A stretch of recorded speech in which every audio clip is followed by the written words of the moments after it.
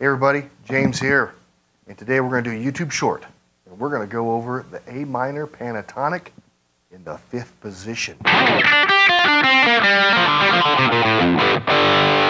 Really fun scale. It's right next to your A chord. A